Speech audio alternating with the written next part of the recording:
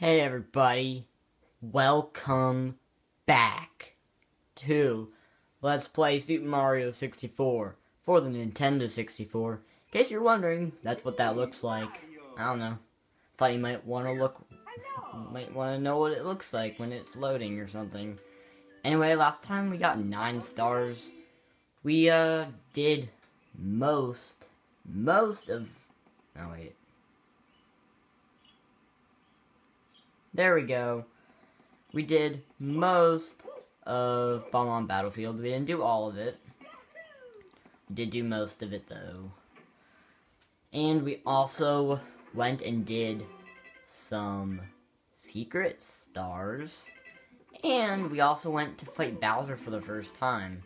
And now, we are actually going to be getting some secret stuff. Secret stuff. It's secret. Okay. So, um, we're gonna head here. I just ignore a bunch of the landmarks right now, because all we're doing here is heading through this door. And going into course 6. I know that might sound crazy. Why the heck are you going into course 6? But I have my reasons. And I mentioned in the end of the last episode that we are going to be getting the all all of the um different pretty much all the collectibles in the game, basically. Well, like all of the uh, collectibles besides stars. So we're getting the three caps. And we're going to be starting by getting the metal cap, which is probably the hardest one to get. And pretty much what you have to do is you have to go into Course 6 Hazy Maze Cave. Of course, we're probably not going to be coming back here for until we're done with the first five courses. But for now, we're only here so that we can get the metal cap. And the middle metal cap is the first cap that we're getting. So, you're gonna have to use this uh, dinosaur, and you're gonna have to go over here. And then, just jump up here.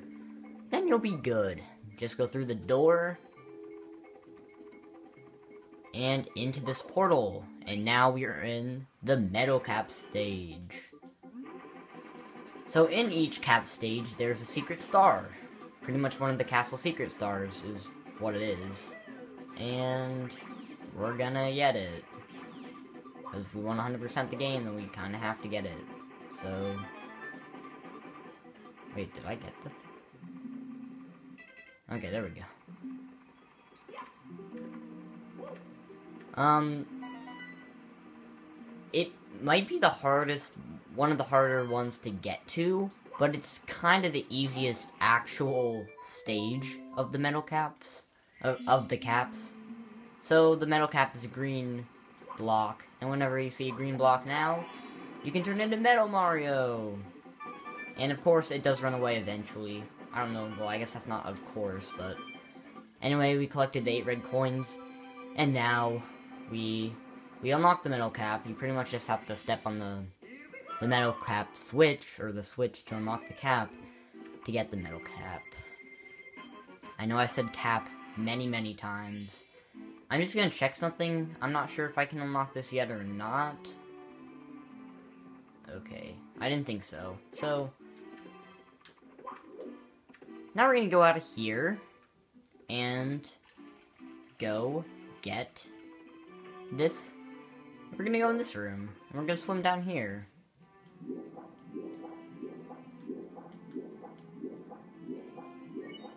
And down here, we have a little thing. And what it's gonna tell us to do is ground pound these two pillars. And once we do that, this water will drain away. And not only that, now all this water is drained. I know it might look not as pretty, but this is just a natural lake over there. But anyway, once you drain the water, you can go into this hole, which is the second cap switch stage. The invisible cap.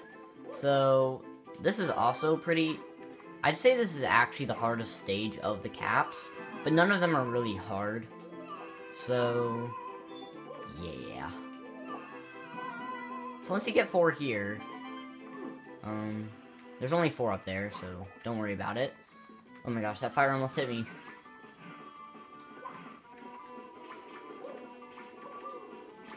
So this part coming up is actually the hard part. So far what we've done is ridiculously easy, but this part's kind of hard. And the reason I say that is because um, these actually flip off, like, once they get to the top, like that, and you can just fall pretty easy, actually. Pretty easily. Especially trying to get these last two red coins.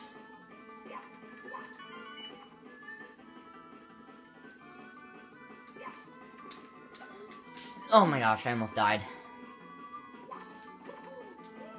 And I did it. So we got all 8 red coins. Good. But before we collect that switch, or that star, you actually have to unlock the invisible, the, the vanish cap switch. I'm probably going to be calling it the invisible cap a lot, but its actual, its actual real term is the vanish cap. And now, kind of, a pretty, a kind of good. A speedrun tactic that you can do here is go in this, press start and exit course, then you'll be back here where you can go do the third um, cap switch stage. And this is normally the first one that you will probably do, but in the way I did it, this is the last cap the last cap switch stage. And this is the wing cap. As long as you're careful, this one's pretty easy. I'm probably gonna end up missing one unless I can do it perfectly, which would be pretty awesome. I knew it. I knew I couldn't do it perfectly.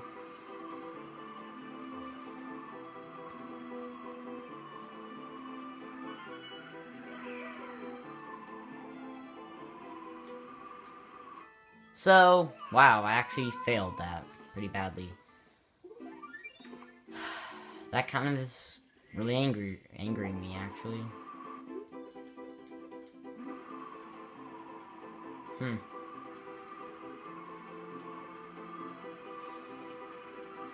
So, this is, like, this switch I actually really hate the flying mechanics in this game. I hate this. This is definitely my least favorite cap of them all.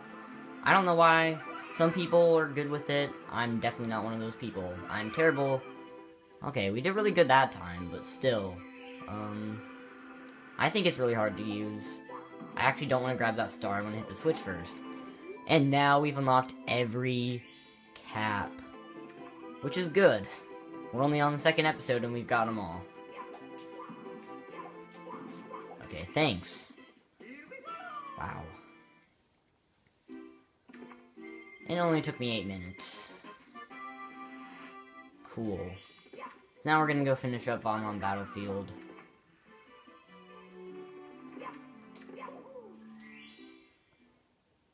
Um, these last two are pretty fast ones.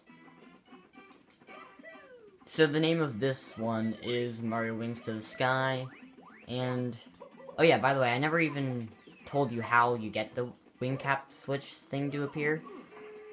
Pretty much what you have to do is you have to just collect 10 stars and then it will appear, so it's pretty pretty easy to actually get, but hey, I don't know, I guess some people want to know how exactly you get it. So we just got the first coin, Pretty much you have to collect five coins in the air with the wing cap. You can do this without the wing cap, however, it's very tedious and just not easy. Oh my god, I almost did it perfectly. But I didn't, I missed that last one. Oh my gosh. So now we're back down here. It's actually really annoying. I ground pounded because I thought I was right above it. That's really annoying. So we're gonna shoot back up. Let's go.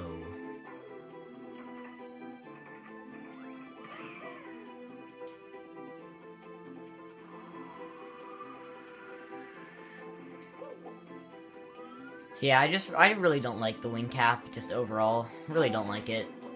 And... There's one star that um, you have to be pretty good with the wing cap. You don't have to be like super good with it, but you have to be pretty good, and it's not an easy star to get, and it's really annoying actually. What the heck just happened? Okay.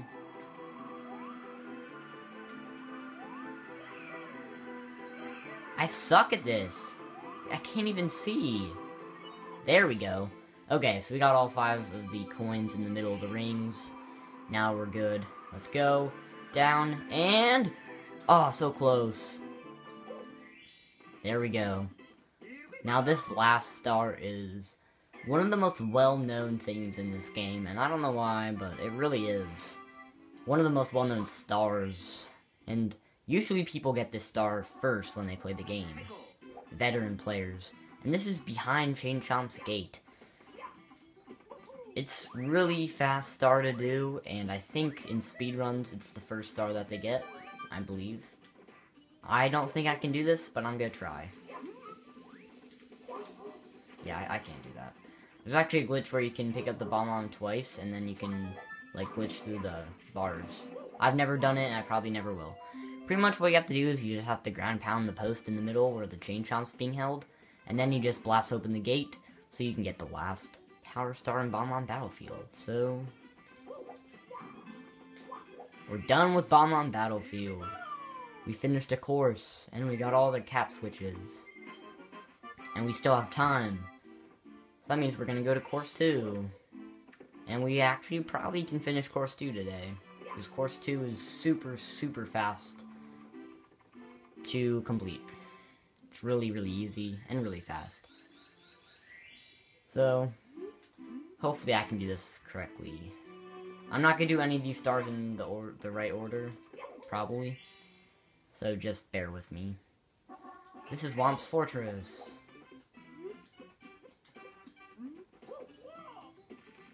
So first star we're going to get is actually the third star of Whomp's Fortress. And normally you're supposed to use this cannon when a bomb appears in the third level. But if you really want to,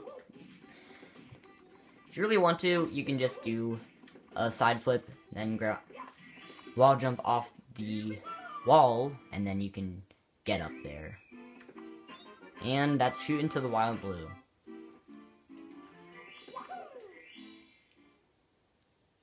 This next star we're gonna get is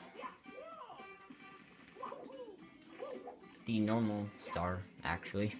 So, but we're gonna do a little, uh, speed run thing, I guess. I don't think people actually do that in the speed runs, but it saves a lot of time. I think they have faster tricks. So this is the Whomp King. You can just ground pound right through him. So he's by far the easiest boss in the game. See, you can just while you're ground pounding, you can just fly right through them.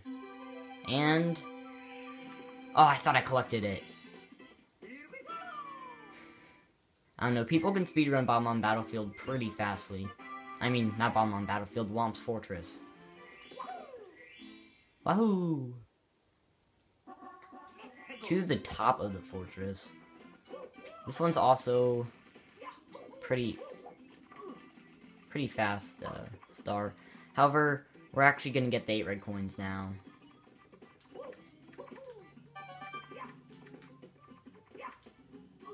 Ow. And, uh, and the 100 coins. By the way, this is by far the easiest 100 coin mission in the game. I'm not even kidding you. There's so many coins in this level, it's crazy. And for, for so many coins, it's kind of ridiculous because it's a small level, and I'm pretty sure this is the level with the most coins in it. So it really makes absolutely zero sense and like at all. It like makes absolutely no sense. So I don't know. Just whatever. I don't think it actually has the most coins, but it's definitely really easy to get coins in this level. Like, ridiculously easy. Like I'm already at 60.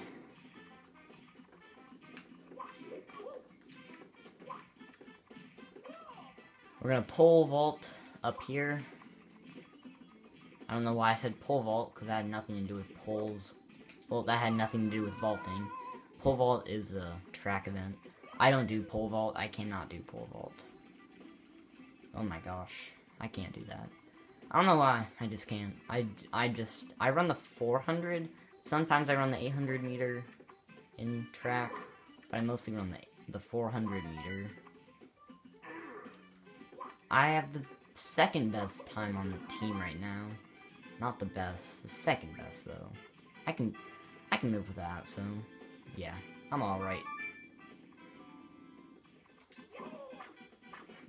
Dude, whatever. I don't even care about you. Why? That's so bull. That is so bull. It really is. Ugh, whatever.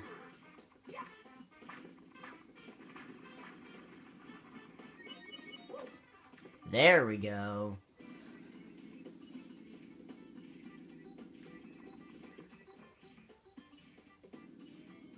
Boom, boom, boom, boom. Hey, one up. Okay. There we go. Hey, Whomp, give me a hundred coins. Thanks.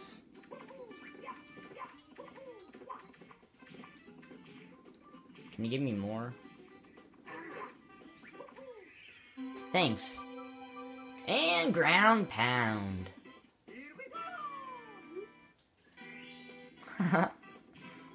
hey, Whomp. See how much more coins we can get from him. Oh. Come on, Whomp. They can give you 10 coins each. I believe.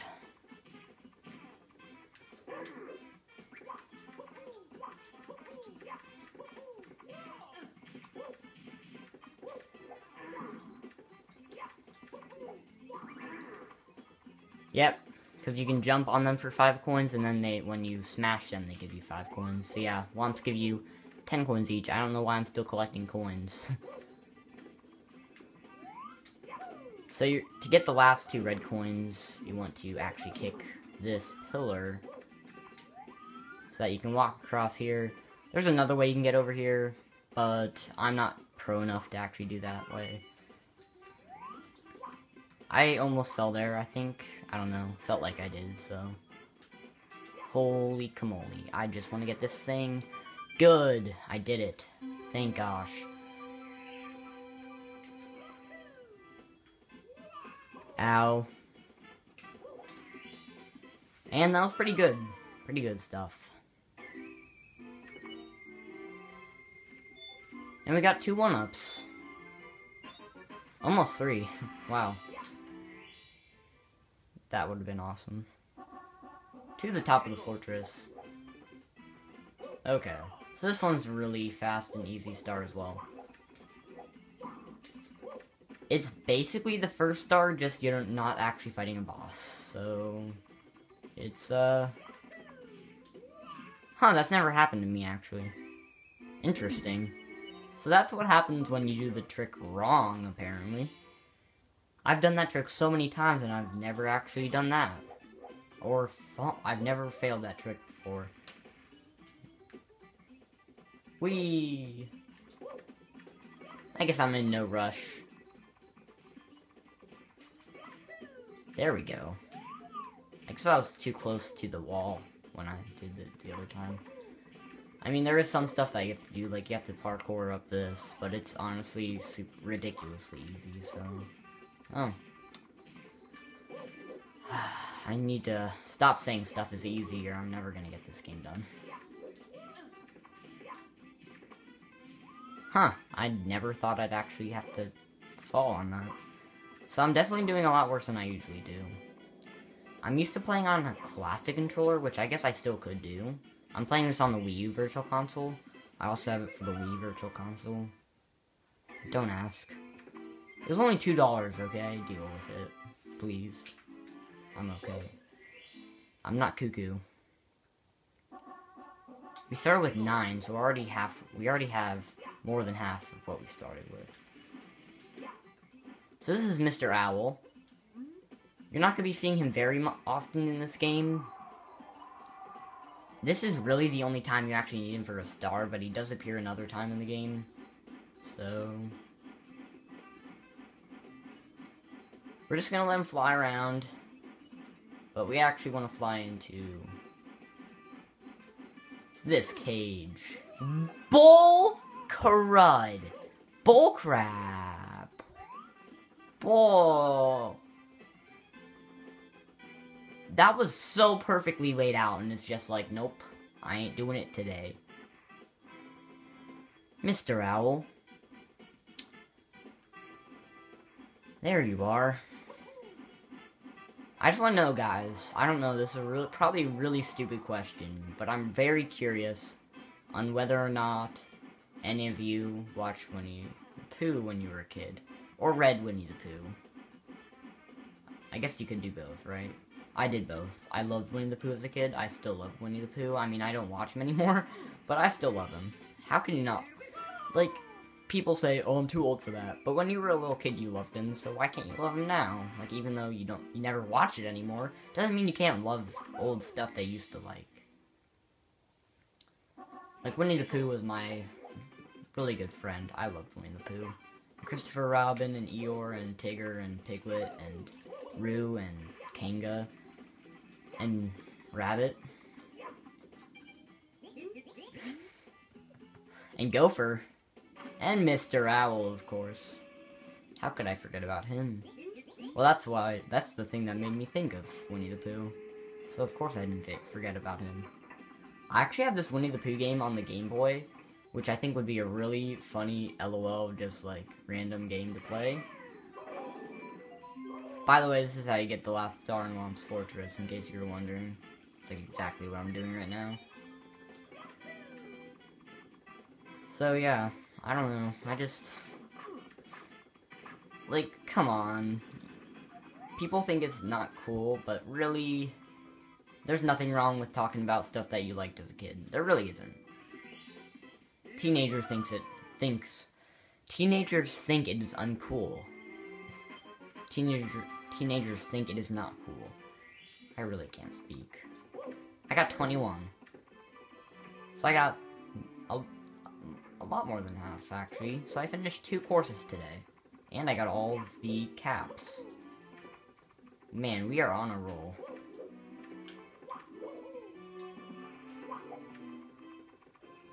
This Toad's annoying, never talk to him.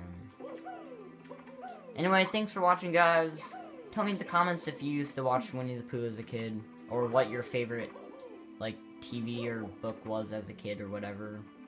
You know, just, like, little characters that you liked as a kid.